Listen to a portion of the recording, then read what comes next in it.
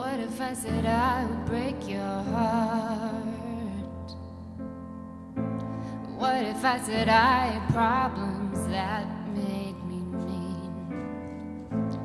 What if I knew I would just rip your mind apart? Would you let me out?